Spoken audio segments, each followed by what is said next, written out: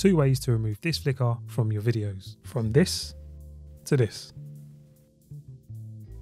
First way is to duplicate your footage by holding Alt, clicking and dragging it into the video layer above. Move the clip along one frame and set the opacity in the effects control panel to 50%. As you can see, the flicker isn't completely gone. So the second way is to again duplicate your clip, Alt click drag into the video layer above, move the clip along one frame, then set the opacity in the effects controls panel to 66%. Again, duplicate this clip, hold Alt, click and drag it into the video layer above, move the clip along one frame and set the opacity of the top clip in the effects controls panel to 33%.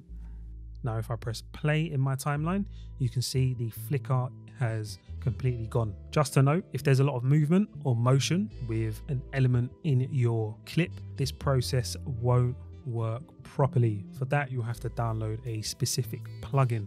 My name is Jermaine. Hope this video helps you, and I will see you again very soon. Take care. Goodbye.